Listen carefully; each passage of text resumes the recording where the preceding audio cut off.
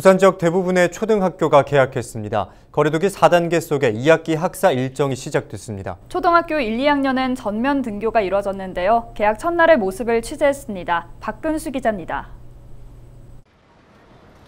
새 학기가 시작된 첫날, 아이들이 하나둘 학교로 향합니다. 친구들과 함께하는 등교길은 오랜만입니다. 교문을 통과하면서 반가운 손인사도 나눕니다.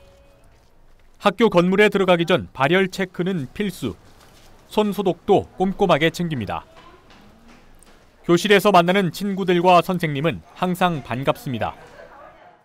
방학 잘 보냈어요. 사회적 거리두기 4단계 속에 중고등학교에 이어 초등학교까지 전면 개학했습니다. 부산 지역 304개 초등학교 가운데 이날까지 299개 학교가 개학했고 나머지 5개 학교는 오는 6일 개학합니다. 본격적인 2학기 등교 수업이 이뤄지면서 학교 방역도 더욱 강화됩니다.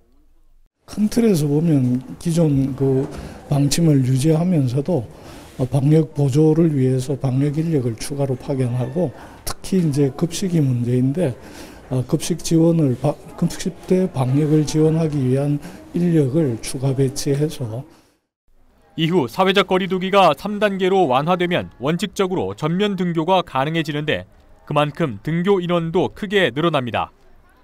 교육청은 방역 지원과 철저한 관리를 통해 학교 현장에서의 감염을 차단할 계획입니다. 헬로티비 뉴스 박근수입니다.